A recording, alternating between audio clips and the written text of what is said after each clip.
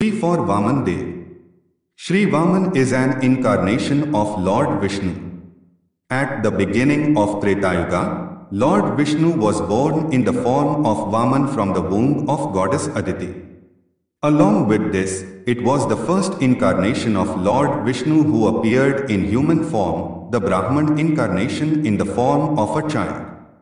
In South India, his original name is known by Upendra.